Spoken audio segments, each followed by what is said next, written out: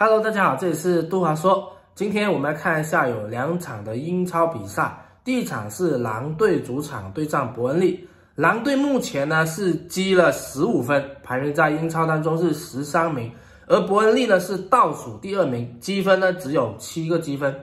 而现在七个积分，如果这一场比赛能拿到分数的话，他能够再往上面走一点点，或者说能够。呃，逆转胜就是在客场战胜了蓝队的话呢，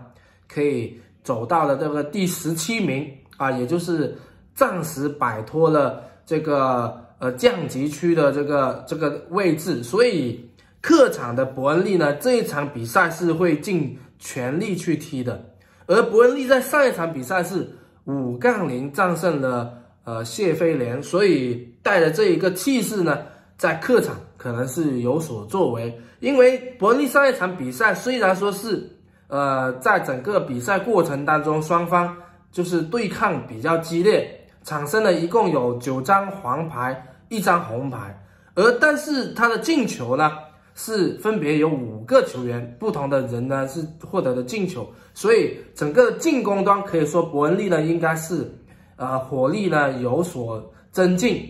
因为。以前伯利在英冠当中是特别厉害的，应该说是英冠的老大，所以呃上来英超呢，其实还没有适应。等他适应完之后，我觉得是值得期待的，他有可能会会往上面稍微走一些，好吧？而蓝队这里呢，目前排在第十三名，也就是中下游的水平，这个位置呢比较稳定，因为像去年来讲，也是大概是这个位置，可能还会偏下一点点。偶尔往上面走一点点，曾经也有在十三名过。那么蓝队这一场主场呢，想要战胜伯利其实并不容易，因为因为我觉得啊上一场呢是啊输给了阿森纳，所以呢这一场回到主场呢，虽然说主场会有一定的加持，但是我觉得带着输球的这个节奏呢，有可能会延续到下一场。也就是说，对伯恩利这一场呢。其实并不是那么容易能够拿下来，而伯恩利也特别想要积分，所以这一场呢，我们是看好客场的伯恩利不败，一杠一、一杠二跟二杠三。好，第二场是卢顿对阿森纳，阿森纳目前是高居英超第一名榜首，积分三十三分，而卢顿呢是排名在第十七名，暂时摆脱了这个降级区。